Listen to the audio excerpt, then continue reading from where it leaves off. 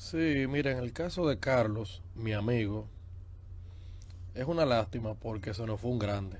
Se nos fue uno de los duros de nosotros y aunque me da lástima su paso, eh, no me queda otra que respetarlo y desearle lo mejor en cualquier paso que sea que él tome en lo adelante en términos políticos. De verdad que le deseo lo mejor y es mi amigo al margen de lo que ha sucedido.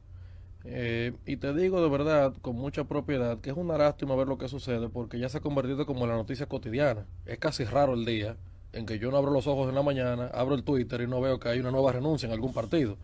En algún partido de oposición, por supuesto, porque del oficialismo no renuncia nadie, pero eh, no sé, creo que es una práctica que lejos de ayudar a fortalecer la democracia, la debilita mucho, porque hoy parece gracioso, pero cuando miremos más adelante, nos daremos cuenta que esas cosas traen consecuencias. Y, y, no, y, es que en realidad no es normal que estén son sacando personas de otros partidos políticos. Yo creo que uno crece sobre la base de las ideas, las propuestas, los proyectos que uno le presenta a la gente, sobre la base del convencimiento, discurso, pero no son sacando dirigentes de otros partidos políticos. Eso no, eso no debe ser una práctica normal. Que sucedió ahora y en el pasado también es verdad que también ha sucedido en el pasado. ¿Y cómo uno va a hacer negar eso ahora?